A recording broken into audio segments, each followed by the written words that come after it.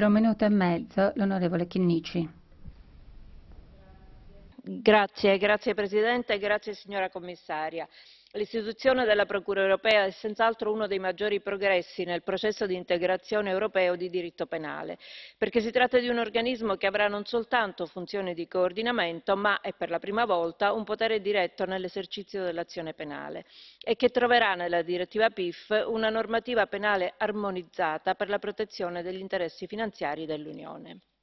Il testo negoziato dal Consiglio rappresenta un buon compromesso che tiene in debito conto molti dei suggerimenti formulati dal Parlamento europeo, fra questi l'inclusione delle frodi IVA nella competenza della Procura, l'inserimento di norme adeguate in materia di trattamento dei dati personali e la previsione di specifiche garanzie procedurali, soprattutto con riferimento al controllo giurisdizionale delle decisioni della Procura stessa.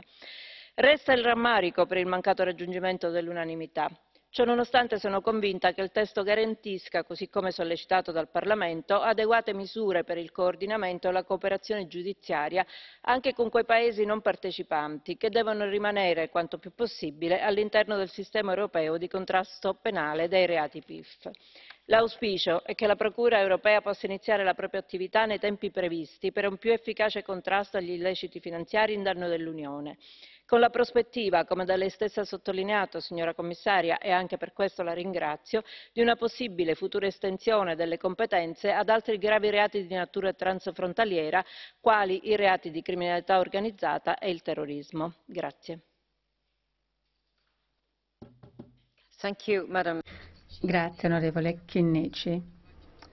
Gli interpreti avrebbero voluto che lei parlasse più lentamente, ma non volevo interromperla nel discorso, però mm, siamo consapevoli della velocità. Andiamo avanti. Do la parola all'onorevole Ujazdowski. Grazie.